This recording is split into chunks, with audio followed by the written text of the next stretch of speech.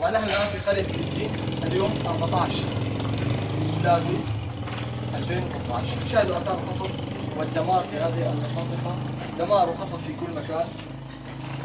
نتيجه استهداف المنطقة من قبل عصابات أسد ومن قبل الجيش النظامي بعشرات القذائف التي سقطت على هذه المدينة. كما تشاهدون آثار دمار في كل مكان وآثار القصف في في كل مكان.